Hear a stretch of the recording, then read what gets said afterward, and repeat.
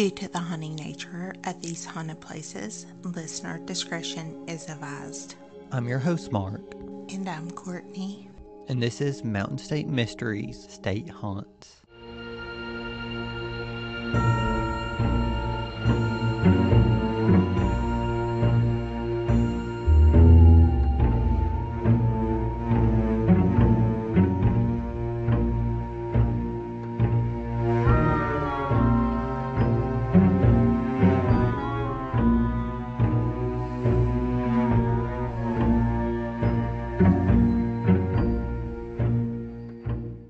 Today, we will be telling you ghost stories from the town of Beckley, West Virginia.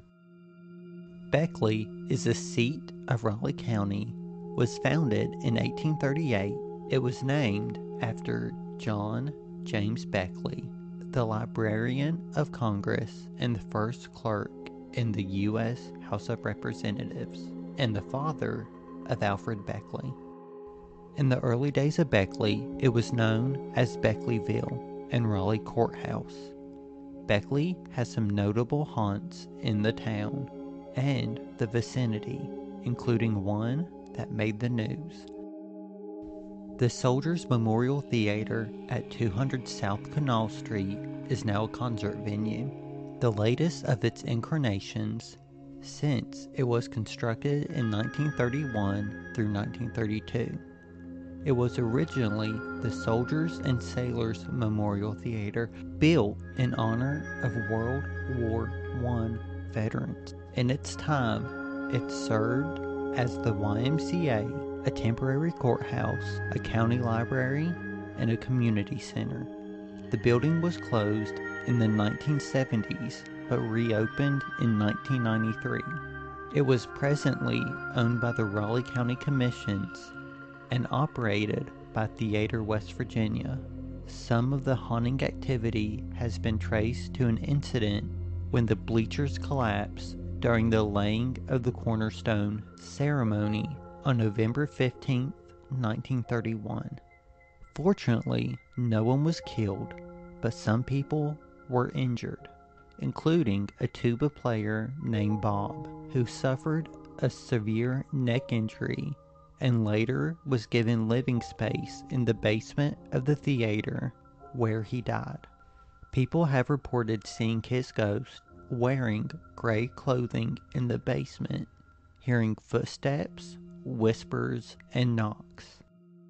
The ghost of a man dressed in clothing from the 1930s has been seen in the balcony and throughout the building. The sound of ghostly children can be heard throughout the building. Once, during a show, the sound of a saxophone was heard, but no saxophone was in the building. In 2011, an investigation was conducted by Eastern States Paranormal. The group captured numerous EVPs, including a female's voice that said, balcony. Could she have been trying to direct the attention to the ghostly gentleman who haunts that area? The investigators also captured sounds of phantom tap dancing, knocking, and other unexplained noises.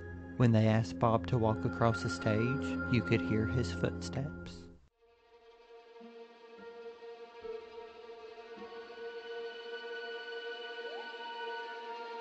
You're listening to State Haunts by Mountain State Mysteries.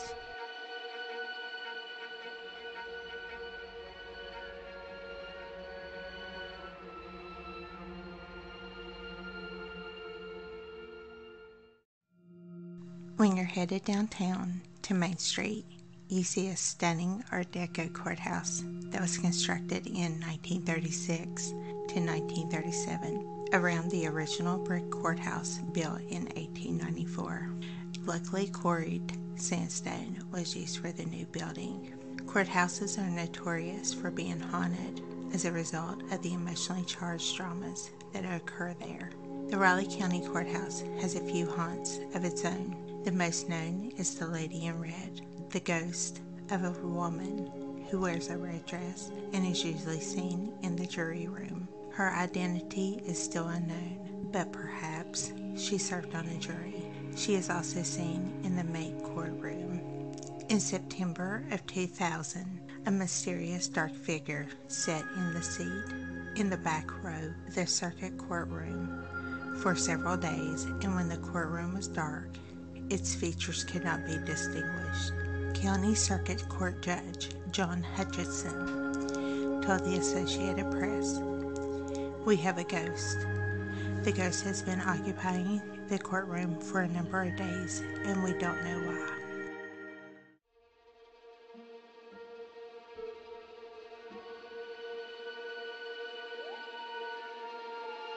You're listening to State Haunts by Mountain State Mysteries.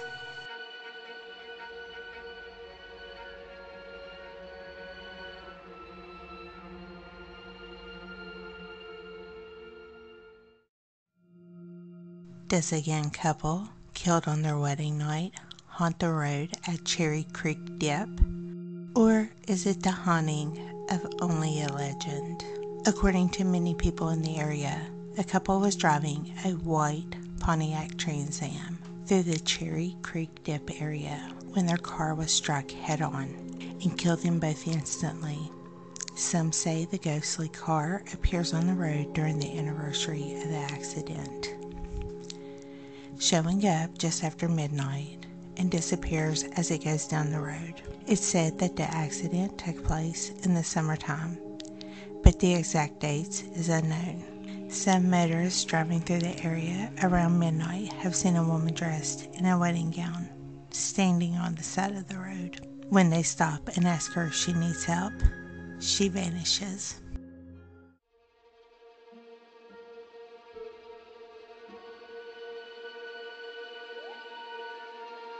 You're listening to State Haunts by Mountain State Mysteries.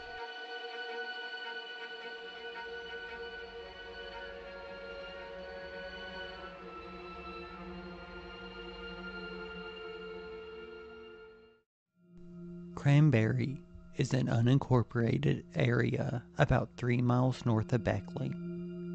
According to local legend, the area where there once was train tracks is haunted by a man named Frank Easter, a stranger who came to the area looking for work in the 1940s and met his tragic end. No one knew much about Easter, who kept to himself and lived like a hermit. He got a job working for the coal mines. One morning, a fire was seen burning on the tracks, and it was the burnt corpse of Frank Easter. No one knew how or why he wound up burnt to death on the tracks. Some speculated that he had walked to Beckley to drink at a tavern and had sat down to rest on the tracks on the way home. Or perhaps he was drunk and just couldn't make it home. He smoked a pipe so he maybe pulled it out for a smoke, fell asleep, and caught his clothing on fire. Easter was buried in an old cemetery on top of a slate dump, which is now behind some apartment buildings. Legend said after his fiery death, Easter walked the tracks, and every morning around 4:30 a.m., a fire started up at the spot where he died. The outline of his body was said to be visible on the tracks, which were hot to the touch.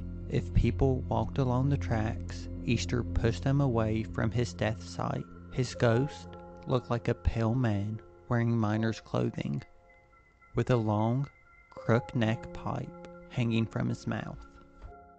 The tracks no longer exist and have been replaced by the rails to trail system of hiking and biking paths in the state.